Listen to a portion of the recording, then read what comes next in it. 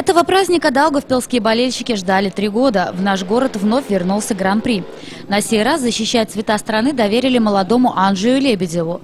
Во время жеребьевки, проведенной премьер-министром Валдисом Домбровским, ему достался одиннадцатый номер. Явным фаворитом этого этапа считался американский гонщик Грег Хэнкок. Он дважды праздновал победу в Даугавпилсе. Рассчитывал он на хороший результат и в этот раз. Мне очень-очень нравится этот трек. Я помню, когда я первый раз тут выиграл, и всегда нравилось тут ездить, но кое-что изменилось. Но я надеюсь, что опять этот трек мне поможет победить. Не я начал ехать хуже или остальные начали ездить лучше, просто общий уровень поднялся, поэтому, может быть, на данный момент я не так высоко, как обычно. Несколько лет назад здесь также неплохо ездил австралийский гонщик Дарси Уорд. 14 августа 2010 года он выиграл один из финалов личного первенства мира среди юниоров. Этот сезон для молодого спортсмена складывается не очень удачно, подкосила травма, полученная на одном из этапов мировой серии. Поэтому на сей раз Дарси нужно было зарабатывать как можно больше очков на нашем треке, чтобы улучшить свое положение в общем зачете. Мне нравится ездить на этом треке. Э, я надеюсь достигнуть хорошего результата, еще немного потренируемся. Я не мог бы сказать, что я надеюсь на победу, но я буду стараться делать все возможное, что в моих силах, чтобы проехать хорошо.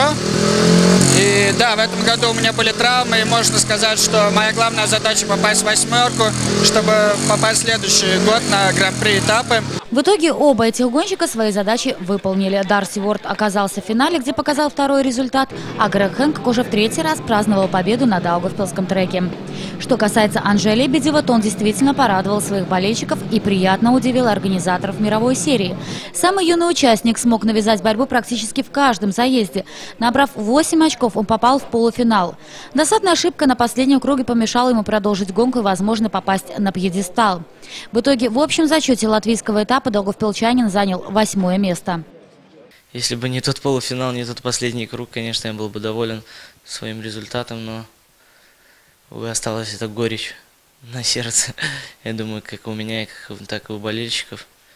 Был близок к финалу, но, увы, наверное, придет, придет то время, тот час, когда мы будем в финале. Ну, в принципе, что там произошло? Потому что как бы с трибуны не особо хорошо было заметно.